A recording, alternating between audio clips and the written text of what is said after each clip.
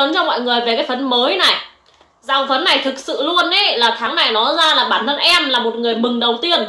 Tại vì cái hộp phấn của em sắp hết rồi. Đây là phấn em đang dùng luôn này mọi người. Chính là nó luôn á.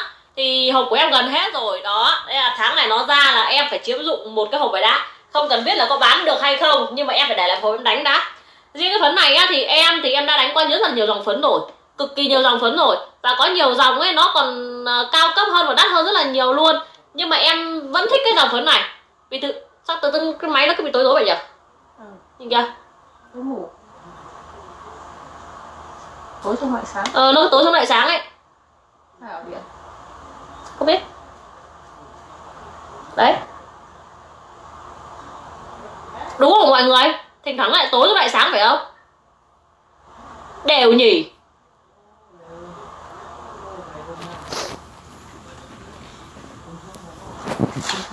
rất ngon bà lại ngồi cạnh đi. Đó thì đây nhá đây là hộp phấn của em em test thử cho mọi người xem luôn.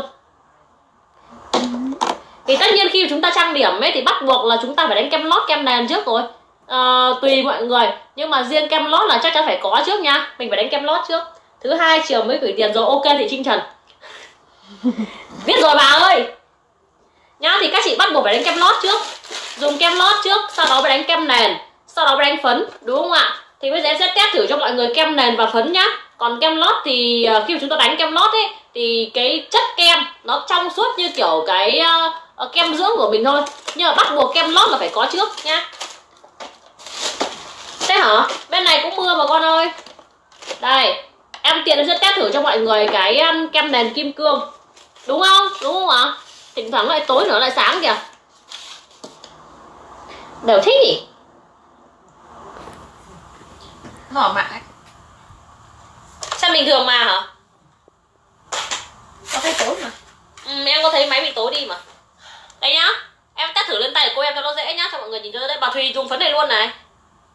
Đây riêng kem nền thì yên tâm là các chị không cần phải lấy quá nhiều tối rồi sáng. Đúng không tối rồi nó lại sáng. Tại mạng đấy. Đây nhá mọi người sẽ dùng kem nền trước. Riêng cái kem nền kim cương này các chị chỉ cần lấy ít thôi không cần phải lấy quá nhiều đâu ạ nhá kem nền kim cương là một trong những cái dòng kem nền mà yên tâm cho các chị luôn đó là cực kỳ tiết kiệm đánh ít thôi nha. Kem nền các chị đánh ấy, đừng để cả cục này để đánh nha mọi người. Chúng ta phải vỗ đều nó ra nhá. Vỗ đều nó ra như này này. Sau đó các chị xoa. Riêng kem nền ấy thì khi mà trong cái lúc mà chúng ta trang điểm á riêng cái cái bước mà đánh kem nền ấy các chị phải làm thật nhanh đi. Đừng có mà ngồi mần mần mần mần á. Chúng ta làm như vậy thì nó rất là nhanh bị uh, cái da mình nó hay bị bết ý nhá. Riêng kem nền các chị đánh nhanh lên cho em đây tán nhanh cái tay lên nhìn thấy không ạ? Đánh có một tí kem nền nó đã lên tông rồi. Kem nền kim cương là một trong những cái mà hai tông? Tông trắng tự dưng nó xẻ cái này. Nó thành hai tông rồi đấy. Thấy không ạ? Đây ngay chỗ này có thể nhìn rõ luôn này. Chỗ này là phần cắt mà chưa trang điểm đó. Có thấy chưa ạ? Đây nhá đây là đây là mới đánh kem nền thôi nha còn chưa đánh phấn nha. Đấy đây là kem nền kim cương em em cực thích cái này rồi. Ok kìa treo nhau à? Đó nhớ dùm em nha. Các bước khi mà các chúng ta tán kem nền nên mọi người tán nhanh tay lên nhá. Đánh nhanh tay lên. Hoặc là ai chúng ta có cái mút ấy cái mút để để, để tán kem ấy mình dùng cái đấy cũng được. Đây. Đây là lớp kem nền kim cương. Nó đem lại cho mọi người một cái lớp nền che được khuyết điểm rồi. Lên tông cho da rồi đúng không? Và bây giờ em chỉ phủ cho mọi người một chút cái phấn này lên thôi. Đây nhá. Test thử phấn này luôn này. Đó. Đây hộp phấn của em thấy không ạ? Nó gần hết rồi này nó hết phát là cái phấn này tự dưng nó ra thế là thôi mình lại tốn hộp phấn. Đây nhá.